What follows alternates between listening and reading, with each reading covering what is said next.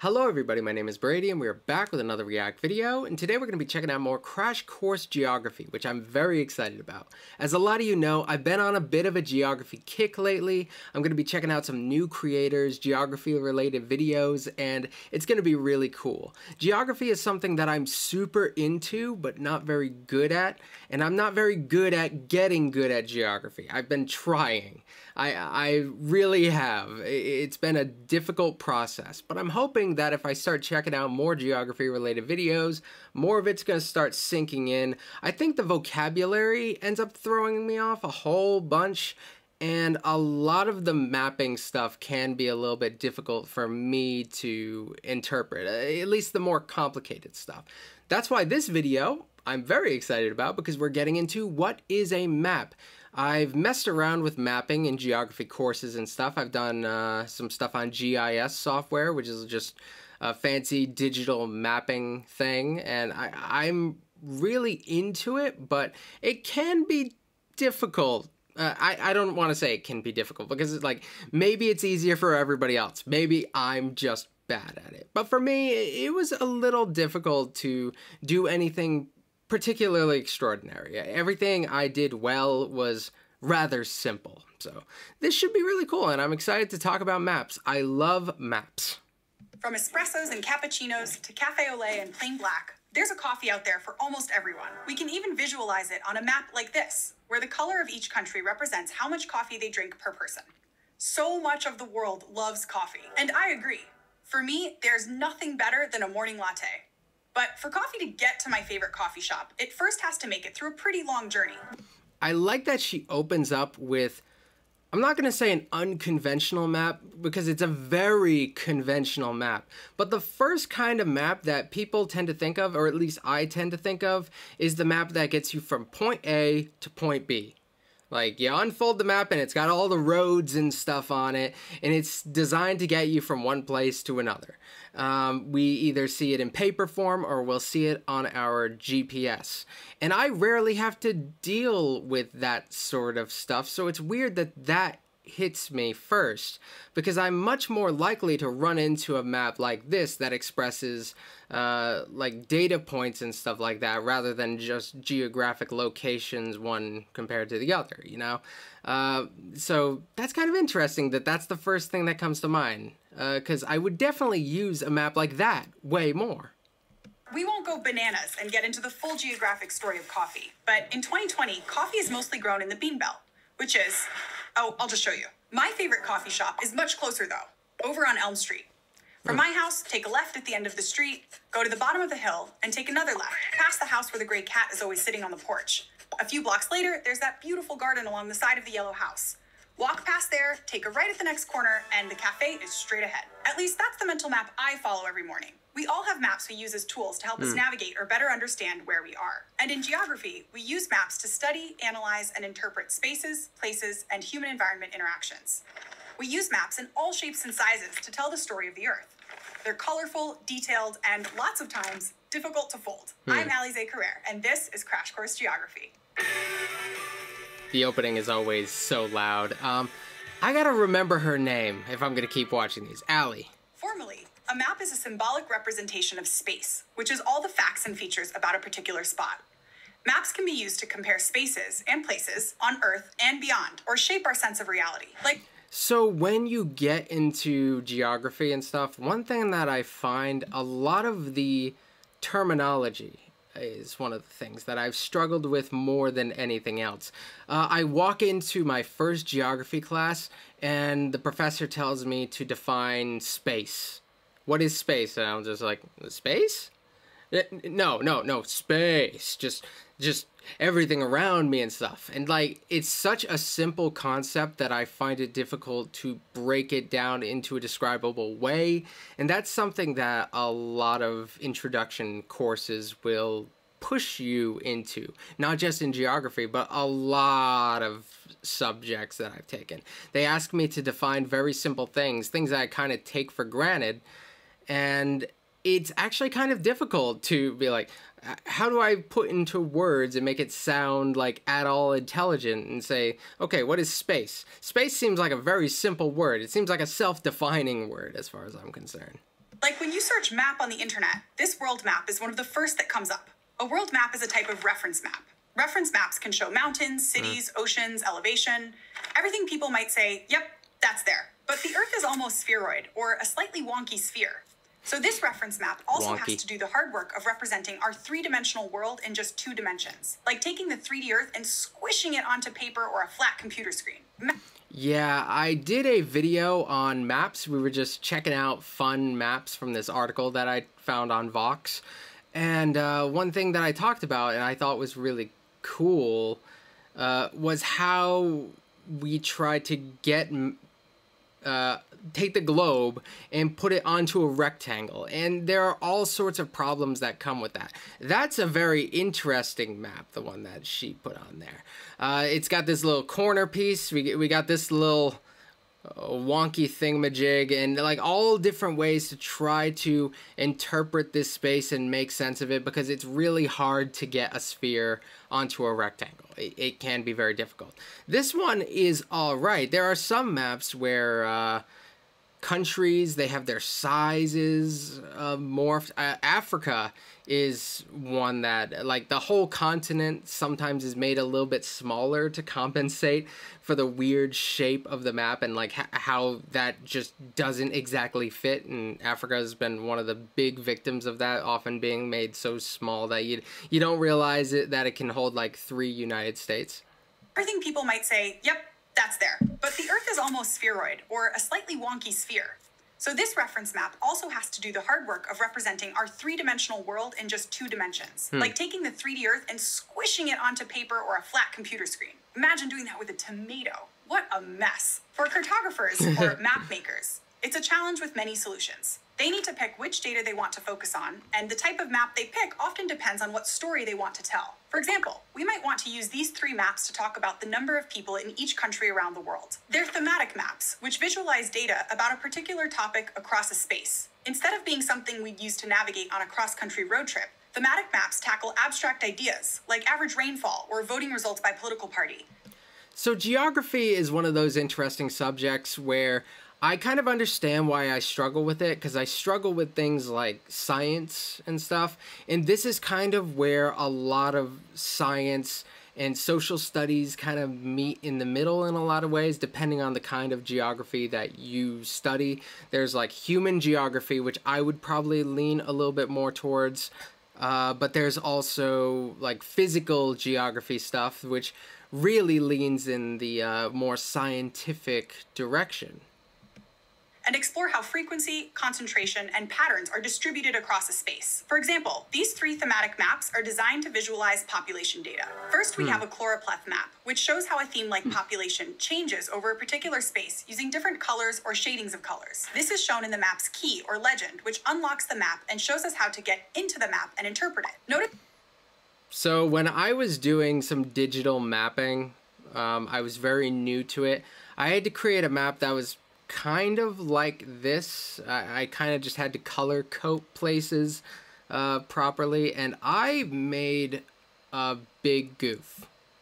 Um, I uh, I decided I wanted my map to be super colorful, and you know what? If you want your map to be super colorful, uh, and you go maybe from cool colors to warm colors, you might be able to get away with that. But what I did didn't really have any rhyme or reason to it. I just separated them into all different colors and thought it was okay. And then I looked at it and I was like, oh, this is so hard to follow. This is a good map. This is a good map. I, I think uh, from that point on, I ended up making them a little bit more like this. Just going from, use the same color with just different tints, which was uh, way easier to follow. Notice how the key moves from a light purple to a deep violet, depending on the population density, the number of people per some amount of area. When we look at this, we can tell pretty quickly the population density in most of South America is quite low. Except for the northern tip of the continent, there are between 0 and 25 people per square kilometer. But wait, as of 2020, Sao Paulo in Brazil is actually one of the 20 most populated cities in the world. So nowhere in Brazil has more than 25 people per square kilometer? Nowhere? Choropleth maps are useful That's, because they quickly yeah, tell us which countries not... or regions belong in the same category overall. With a glance, we see Australia and Canada and Russia and most of South America all fit in the same population density category. But by shading a whole area, Choropleth maps can make things look a little too simple, which can be a problem.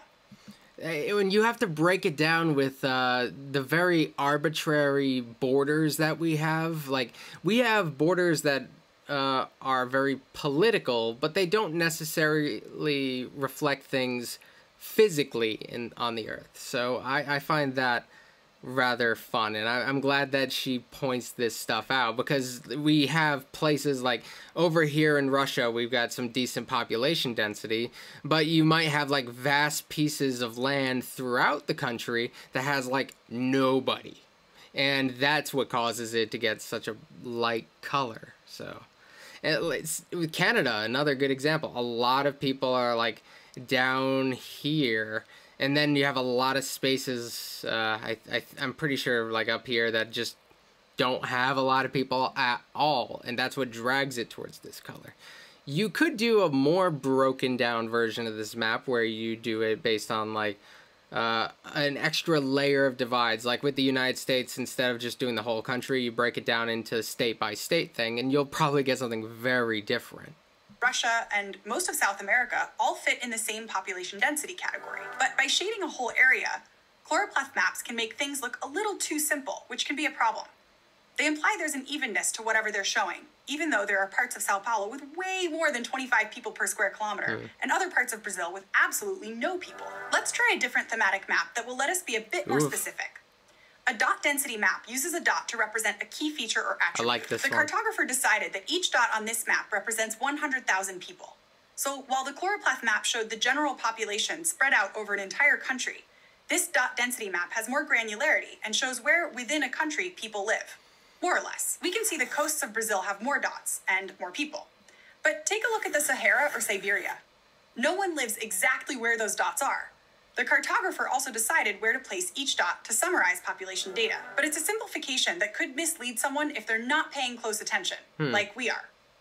A dot doesn't necessarily mean 100,000 people live exactly there. Cartographers are always trying to make maps easily readable, but all the choices they make can influence accuracy. For example, if we changed how our dot density map is projected, or how the 3D Earth was flattened into 2D, the size and shape of the continents would shift, and so would the dots we might accidentally imply some areas have a closer population density while others are more spread out. Our last thematic map for today is a cartogram map, which uses size these. to compare data, like population density, regardless of the actual space these regions take up on the Earth's surface. With Oh god, I have there's a website you can go to where you can get all sorts of data for digital mapping and it will play out kind of like this and I forgot what it was, but you can get all sorts of things. You can do like uh, trade, like imports and exports. You can search specific products and you can see uh, uh, which countries have more or less of that going on. And, and it's really cool. I love these that like morph the uh, the size and just presence of a particular country uh, based on like what it has. This one's population density, but uh, there's all sorts of uh, places you can go with that. With this map, the really populous countries are giant. Look at India. Ones with smaller populations huge. But it looks weird to us, or at least to me, because we're used to maps that tell us something about the physical space that countries and continents take up. India has a much bigger population, but in real life, Australia is a much larger country. It's about 7.7 million square kilometers, while India is less than half the size, with 3.28 million square kilometers. Each of these thematic maps uses a different lens to tell the story of the world population. Different maps represent data in different ways, and the more information a geographer has, the better interpretations they can make about a particular story. This is the population stuff I find very fun because I live in a very small state uh, I live in Rhode Island, which is the smallest state in the United States, uh, and we have about a, a, million people. We'll, we'll say about a million people, and then uh, y- you would think since we are so small and like by a decent amount, uh, we would have way less people than a lot of places, and in a lot of cases we do. But then you'll look at a lot of uh, countries like further west, uh, and you'll find a lot of them don't have the same population density we do among the United States. Our population density is actually decently high. Uh, and then we'll have some places that are way bigger and they'll have less than a million people, which is kind of interesting. Like we have a state like this that gets downplayed based on its size, but look at the amount of people we have compared to some other places.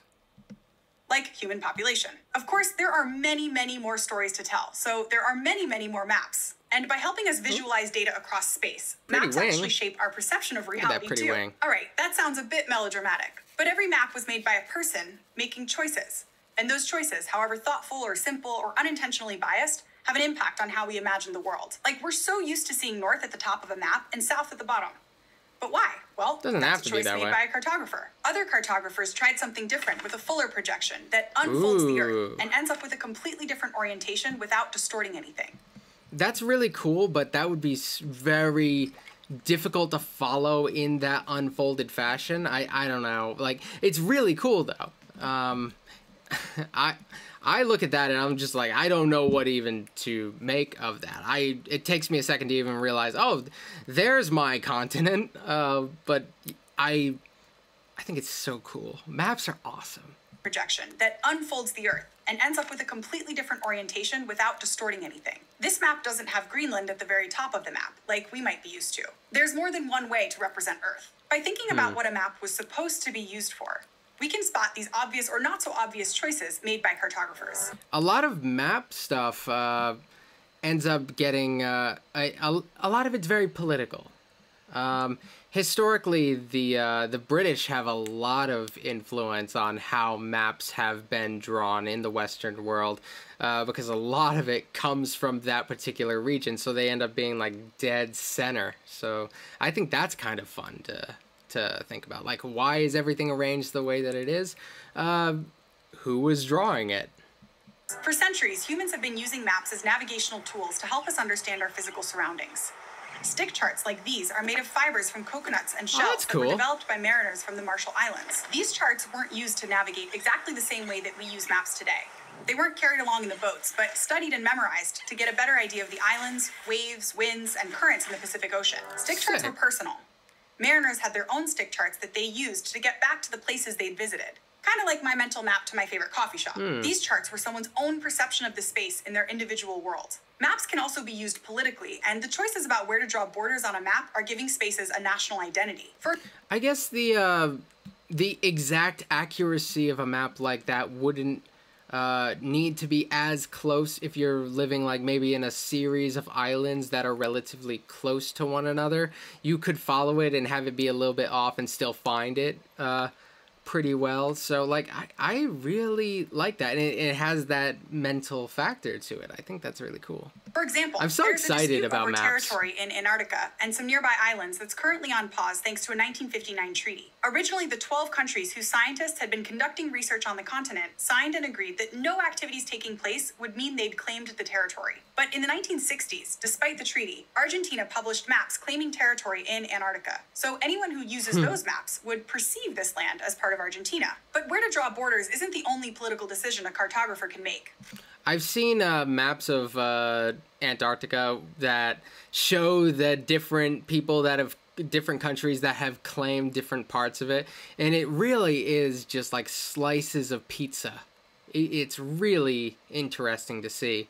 And I've talked about it in the past. Antarctica is going to be very important. Maybe not in my lifetime, but in the future, uh, when we exhaust a lot of our, our uh, oil options, because there's a lot of oil in Antarctica. And if they start really working on ways to efficiently get oil out of there, I don't know where they are with that, but uh, there may be a significant rush to uh, uh, assert these claims to Antarctica.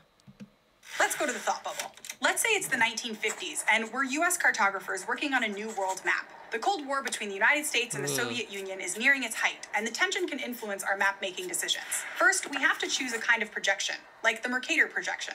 First made in 1569 by the Flemish cartographer Gerardus Mercator, this type of map basically turns the spheroid Earth into a cylinder. The Mercator projection shows the lines of longitude, or meridians, as equally spaced and parallel vertical lines traversing pole to pole. The lines of latitude, or parallels, are also parallel lines on this map, but get spaced farther apart as we move north or south of the equator. Hmm. On a globe, meridians aren't equally spaced, but curve together at the poles. With this layout, the scale gets distorted and areas farther away from the equator appear bigger than they really are. Like, look at hmm. Greenland. It's essentially the same size as all of Africa. It's not that this. Yeah, that's what I was saying. Like Africa gets, it really gets the shaft in maps like this. I didn't know like the term for it, but now I do.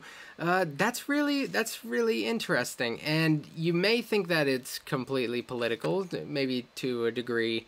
There may be something political behind it, but it's generally just difficult to uh, to fit everything onto uh, this rectangular surface in an efficient way. So I can understand why some things would happen to get morphed, but this feels weird. Like the, the modern day United States, it looks like it's about the size of Africa when you can fit maybe three of them into it. Don't quote me on the exact numbers, but I'm pretty sure it's like close to three, at least. Maybe. This representation is wrong. Every map choice comes with its flaws. But by choosing a Mercator projection, the USSR looks large and menacing. That's just the beginning, so we sketch out country borders, and now it's time to add color. As US based cartographers, red is our first choice for the USSR. In the West, red, or the Red Scare, are synonymous with fear of communism. Representing a major foe to the United States in red sends an immediate message to the viewer. Red does look like a bad let's guy add color. the hammer and sickle, weapons reminiscent of the scythe of death and the symbol of the Soviet era, which evoked fear in Americans. As you can see, with just a few map making choices, we can actually help stir up some major nationalistic emotion. Thanks, Thought Bubble. Though the Cold War is over, our maps still reflect nationalistic fervor in more modern times.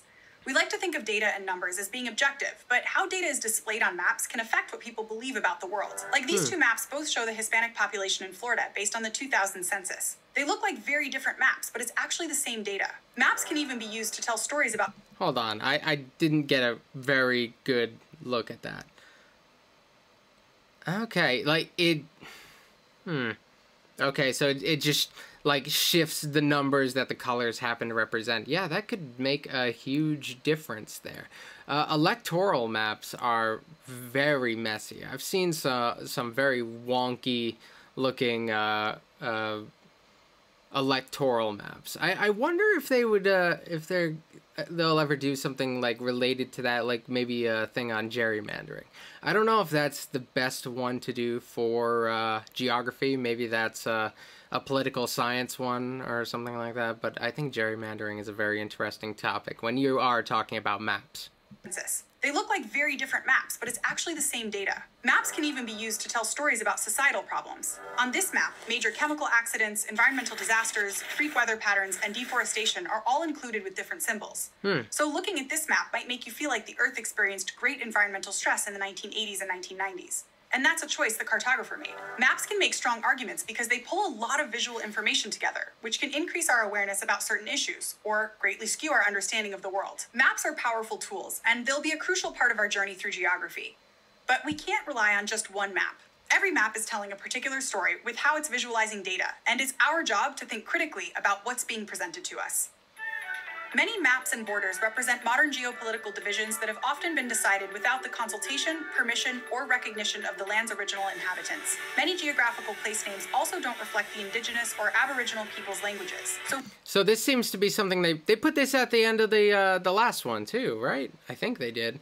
So th- this is going to be like a running thing. Okay. We at Crash Course want to acknowledge these people's traditional and ongoing relationship with that land and all the physical and human geographical elements of it. We encourage you to learn about the history of the place you call home through resources like nativelands.ca and by engaging with your local indigenous and aboriginal nations through the websites and resources they provide. Thanks for watching this episode of Crash Course Geography, which was made with the help of all these nice people. If you'd like to help keep Crash Course free for everyone forever, please consider joining our community on Patreon. All right, so that's uh, Crash Course Geography number two. I think at the point I'm recording this, they have eight of these. I might be able to, if I do one or two a week, I probably won't do more than one a week, but I don't know. If I do one or two a week, um, I, I should be able to catch up no problem. They have so many different courses that I'm very interested in because I've dabbled into all sorts of different social studies uh, not just history. And since the channel is Social Stud, I would like to uh, broaden it to not just be history. I wanted to, I, I want to learn about like all kinds of social studies. Geography just happens to be the one I'm, I'm on right now. I, I'm very into geography as is. Um, if any of you have any other geography creators, I've gotten some suggestions so far, but if you have any that you think I should check out, leave them in the comment section below. Like, comment, and subscribe, and I will see you guys next time. We're going to be doing more geography. Very exciting. Um, yeah, thanks for watching. Bye.